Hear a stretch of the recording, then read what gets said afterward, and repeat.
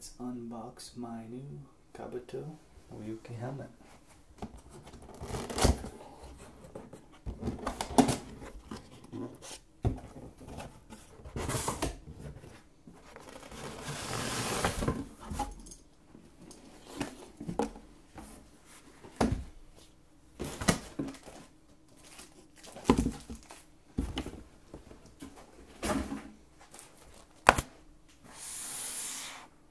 Flat black one, mostly because of price. It was about fifty dollars cheaper.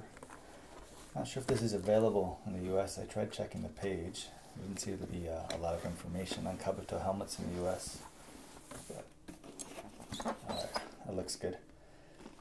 The reason I'm buying this, the reason I bought it, therefore, is um, I'm getting a, a new bike in a couple days here.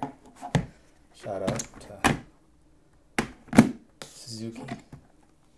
I guess. I don't know. Not really a shout out to Suzuki. Yeah. So this is a, a system helmet. So if we tried it out in the store before I buy on Amazon. Yeah. So the whole head comes up. Built-in visor.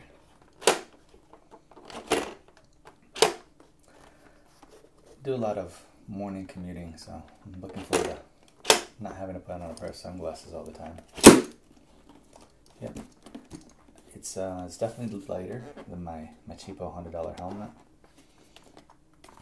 Kabuto Japan. Yeah, again, I'm not really sure if this is available in the US or not. But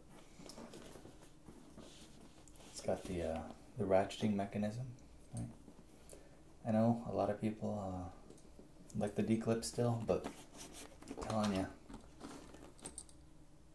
in Japan, they're not the most popular, and we can go away with that. We got two vents in the two vents in the top, two vents in the back here, and one vent in the front here, just on the front.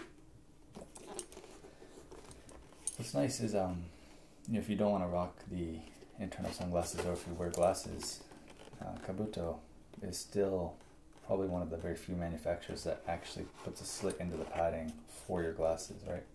No problem if you're glasses wear. Alright, so that is the Kabuto Ryuki helmet, large size. I paid about 310,000 yen for this. 310,000 yen, that's not right at all. I paid about uh, 30,000, 31,000 yen for this from Amazon. I believe it's like mm, 190, 200 dollars ish with the, the yen as weak as it is right now. Yep. All right.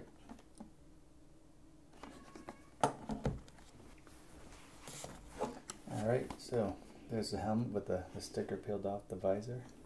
Probably never be that clean again once I start using it. This is a system helmet, right? It does have pin lock. I have ordered the pin lock. It's not unfortunately in yet. And uh, but yeah, yeah, nice, nice clicky feel to that. And on the side here, you can see it's got the built-in sun visor, up or down. I'm really gonna appreciate that. And if we close the visor here, the front we've got a main vent, two on the top that are adjustable, and then two in the back which are just always open. On the bottom, you'll see that red pin here, and uh, just pull up on that, and then we can open the whole front of the helmet just like that. So, there we go. Yeah, again, I can't believe how light this is. I'll put it in the, the video, the exact weight that's advertised for this helmet. I really do hope it be available in Japan. In, in Japan, I really do hope it'll be available in the U.S. And again, at thirty thousand yen, I think that's really, you know, great value for for a system helmet. So. I have a lot more great content on my channel, guys.